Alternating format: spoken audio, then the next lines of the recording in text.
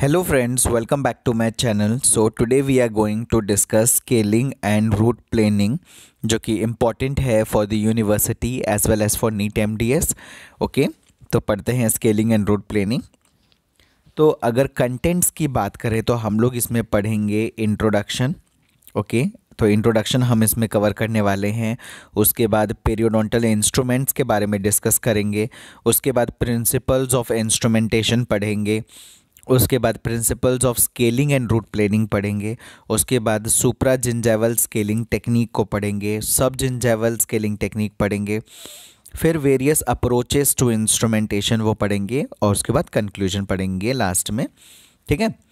तो सबसे पहले अगर बात करें इंट्रोडक्शन की तो स्केलिंग क्या चीज़ है? स्केलिंग इज़ द प्रोसेस ये एक प्रोसेस है by which biofilm and calculus are removed from both supragingival और सब जिंजाइवल टूथ सर्फेसेस मतलब सिंपल सी बात है स्केलिंग क्या चीज़ है? हमारे टीथ में बायोफिल्म या फिर कैलकुलस चिपक जाता है।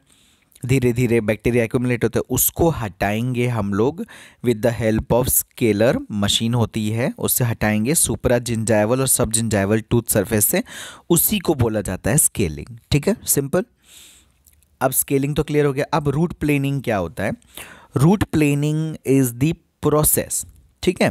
By which residual embedded calculus या फिर पोर्शन ऑफ़ द सीमेंटम को रिमूव किया जाता है from the roots to produce smooth hard और क्लीन सर्फेसेस देखो क्या होता है ना रूट प्लेनिंग हम लोग क्यों करते हैं? क्योंकि इरेगुलर कभी कभी सीमेंटम एक्यूमलेट होता है, वहाँ पे कैलकुलस भी एक्यूमुलेट हो जाता है। तो उस सरफेस को क्लियर करने के लिए, उसको स्मूद करने के लिए हम लोग रूट पोर्शन पे, हम लोग उसको हटाते हैं रूट पोर्शन से, उसको, ठीक है? ताकि वो स्मूद हो सके, एकदम क्लीन सरफेस हो सके। उसी को बोलते हैं रूट प्लेनिंग ठीक है ना?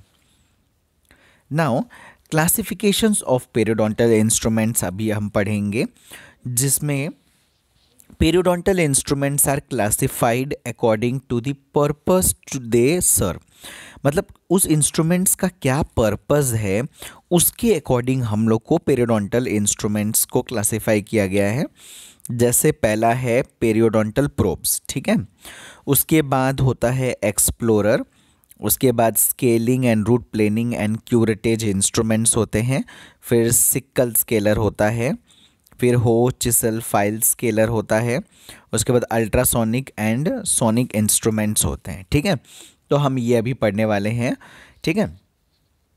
सबसे पहले पढ़ते हैं पेरियोडोंटल प्रोब्स पेरियोडोंटल प्रोब्स क्या होता है? तो periodontal probes is use to locate measure और mark pockets as well as determine their course on individual tooth surface तो देखो पेरियोडोंटल प्रोब जो है, वो लोकेट करने के काम आता है मेजर करने के काम आता है, और मार्क्स द पॉकेट पॉकेट को, ठीक है? उसके बाद ये कैसा दिखता है? टेपर्ड होता है rod like instrument calibrated with millimeters इसमें ना मार्किंग्स होती है। मैं आपको अभी दिखाऊँगा। ये देखो, बहुत सारे ये प्रोब्स हैं हमारे डब्ल्यू एच ओ प्रोब्स होता है विलियम्स प्रोब्स होता है, ऐसे बहुत सारे हैं। इसमें ना मार्किंग्स होती है, आप ध्यान से देखोगे इसमें मार्किंग्स हैं। तो वही बोल रहा है कि ये टेपर्ड होता है रॉड लाइक इंस्ट्रूमेंट है कैलिब्रेटेड इन मिलीमीटर्स में इसका मार्किंग्स होता है। विद अ ब्लंट और राउंडेड टिप्स होता है इसका, ताकि वो चुभे ना और नुकसान न पहुँचाए सॉफ्ट टिश्यूज़ को, ठीक है? उसके बाद World Health Organization probe has millimeter markings होती है and a small round ball at the tip देखो वर्ल्ड हेल्थ ऑर्गेनाइजेशन ने एक प्रोब डिस्क्राइब किया, जिसमें मिलीमीटर्स में मार्किंग होती है और स्मॉल और राउंड बॉल टिप होता है इसका, ताकि वो चुभे ना जब एग्जामिन करें। तो ये डब्ल्यू एच ओ प्रोब होता है, जिसका जो टिप होता है वो राउंड शेप का होता है। ठीक है, ये देखो आप। जो टिप होता है राउंडेड शेप का होता है, फिर इसमें मिलीमीटर्स में मार्किंग्स होती है, ठीक है? Now furcation areas can best be evaluated with a curved blunt Nabers probe MCQ पूछा जाता है। ये एमसीक्यू पूछा जाएगा कि जो कर्व्ड सरफेस एरिया हैं, जैसे कि हमारा, आप कह सकते हो फर्केशन एरिया। तो वहाँ पे हम लोग नेबर्स प्रोब का यूज़ करते हैं। ये फिगर में देखो, ये नेबर्स प्रोब है आपका। ये कर्व्ड रहता है ऐसे। ठीक है? तो अब ये नेबर्स प्रोब से हम लोग फर्केशन एरिया आइडेंटिफाई कर सकते हैं।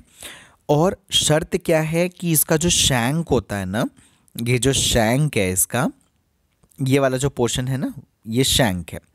तो the shank should be aligned with long axis of the tooth surface to be probed जो एरिया आप प्रोब्ड कर रहे हो ना, उसका, इसका शैंक आपको उसके लॉन्ग एक्सिस पे रखना है और ये जो घुमा हुआ पार्ट है, ये पूरा फर्केशन के अंदर जाएगा, ठीक है?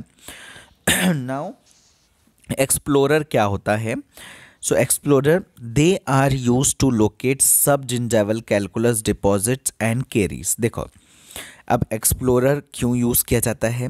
ताकि जो सब जिंजावल कैलकुलस है, उसको एकदम लोकेट कर सके। और केरीज़ जब केरीज होता है तो इस, इसी प्रोब इसी एक्सप्लोरर से हम लोग चेक करते हैं। कहीं भी अगर वो अटक रहा है, रुक रहा है, ठीक है रफ सरफेस हो रहा है तो इसका मतलब कहीं ना कहीं वहाँ पे प्रोब हो रहा है। एक्सेप्ट दी एनाटमी एनाटमी को छोड़ के अगर कहीं भी आपको लग रहा है केरीज है वहाँ पे कैचिंग जहाँ आ रही है, वहाँ पे मतलब केरीज है। And also use to check smoothness of root surface after root planing root planing कर दिया, उसके बाद चेक करने के लिए कि हाँ अच्छे से रूट प्लेनिंग हुआ है कि नहीं। ठीक है? तो ये आपका एक्सप्लोरर ऐसे दिखता है। Now scaling and curettage instruments होते हैं हमारे। क्या क्या हैं? तो सिकल स्केलर होता है, बहुत ही कॉमन स्केलर है ये, जो कि स्केलिंग के लिए यूज़ होता है। इसको प्राइमरीली यूज़ किया जाता है सुप्रा जिंजावल कैलकुलस को निकालने के लिए, ठीक है ना? और इसका जो सरफेस होता है, वो होता है फ्लैट। ये फिगर में आप देखो तो ये फ्लैट सरफेस देख रहे हो आप, ऐसा दिखता है, जिसका दो कटिंग एजेस होते हैं। तो एक कटिंग एज ये है और एक कटिंग देखो इसमें रेड रेड देख रहे हो आप? दो कटिंग एज है। शार्पनेस मेरा पॉइंटर अभी चल नहीं रहा है। ये आप ये देखो। शार्पनेस कटिंग एज देख रहे हो? दो रेड रेड तो दो कटिंग एजेस है इसमें that covering in this sharply pointed tip जो कि लास्ट में जाके एक टिप बन रहा है यहाँ पे। ठीक है? मतलब दो है, ऐसे है जाके टिप लास्ट में। ऐसे बन रहा है। यहाँ पे टिप है इसका और ये दो लार्ज फ्लैट सरफेस, दो कटिंग एज है। एक इधर है, एक इधर है, ठीक है? ऐसे है यहाँ पे। नाउ, ये देखो, ऐसा दिखता है। इस फिगर पे देखो, एकदम एग्जैक्टली exactly ऐसा ही दिखता है। दो कटिंग एज होता है और आके टिप होता है एकदम। तो ये आपका सिकल स्केलर है, ठीक है? सिकल शेप का है। Now sickle scaler are use with a pull stroke. एक चीज़ याद रखना, इसको यूज़ कैसे करते हैं? पुल स्ट्रोक में, देखो, फिगर में देखो आप, ये कोई भी अगर इंटरडेंटली कैलकुलस ये निकाल रहे हो तो पुल स्ट्रोक, ऊपर को खींचेगा ये, ठीक है? ये ऊपर को खींचेगा।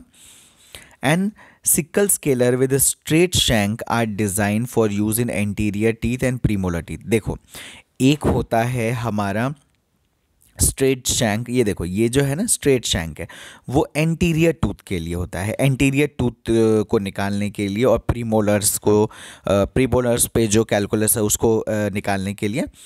और जो कॉन्ट्रा एंगल्ड होते हैं, जो कर्व्ड रहते हैं, जैसे ये देखो, ये कर्व्ड है पूरे तो ये पोस्टीरियर टीथ को निकालने, पोस्टीरियर टीथ में जो कैलकुलस होंगे ना और या फिर डेबरीज होंगे, जो भी है, उसको निकालने के लिए हम लोग कॉन्ट्रा एंगल का इस्तेमाल करते हैं ऐसा।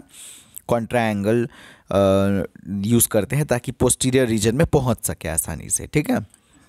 उसके बाद आता है क्यूरेट्स क्यूरेट्स जो होता है यूज्ड फॉर रिमूविंग डीप सब जिंजावल कैलकुलस या फिर रूट प्लेनिंग ऑल्टर्ड सीमेंटम को हटाने के लिए, और removing the soft tissue lining the periodontal pocket ठीक है?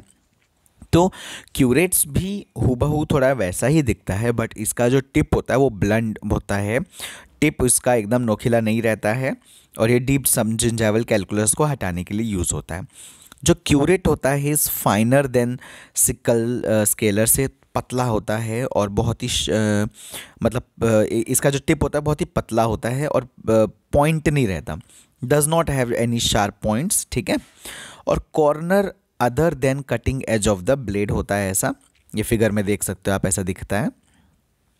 now therefore curates can be adapted and provide good access to deep pockets and minimal soft tissue trauma. इसी वजह से ये क्या करता है? एक तो अडेप्ट अच्छे से हो जाता है। ऊपर से डीप पॉकेट्स में अच्छे से जाके ज़्यादा सॉफ्ट टिश्यू को डैमेज नहीं करता है और आसानी से डेब्रीज वेब्रीज को निकाल देता है। अब देखो there are two types of curettes होते हैं हमारे पास। एक होता है यूनिवर्सल क्यूरेट्स एक होता है एरिया स्पेसिफिक क्यूरेट्स तो दो क्यूरेट्स को हम डिटेल में पढ़ेंगे नेक्स्ट वीडियो में. अभी के लिए इतना ही. नेक्स्ट वीडियो में फिर हम आगे के बारे में, इसके बारे में पढ़ेंगे यूनिवर्सल क्यूरेट्स क्या होता है एरिया स्पेसिफिक क्यूरेट्स क्या होता है. तब तक के लिए